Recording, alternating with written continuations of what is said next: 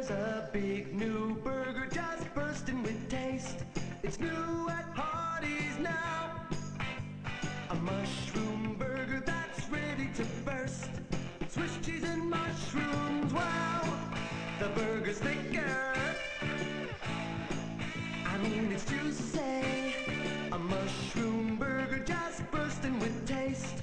It's new at Hardee's now. It's the best thing that ever happened to a burger.